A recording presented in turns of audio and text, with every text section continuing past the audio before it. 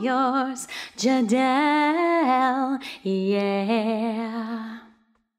One happy birthday dot com.